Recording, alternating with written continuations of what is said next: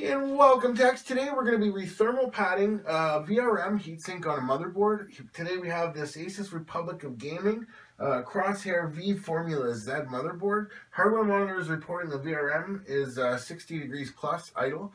So we're going to try to replace the thermal pad, see if it doesn't stop the lockups. And uh, stay tuned to the end of the video for the result.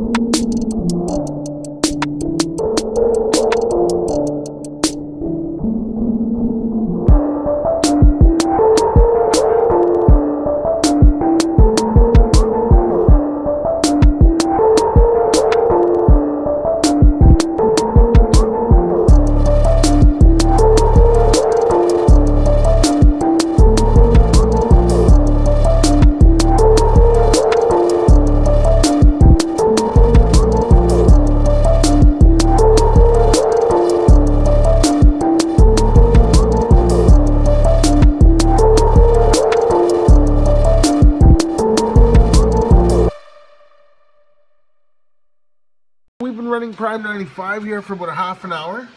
The main board hasn't gone anywhere near 60. We're at 32 there. So it looks like our thermal pad job worked.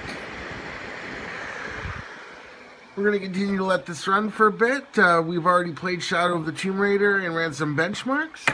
And uh, I believe it's worked, guys. So like, share, and subscribe, and we'll see you in the next video.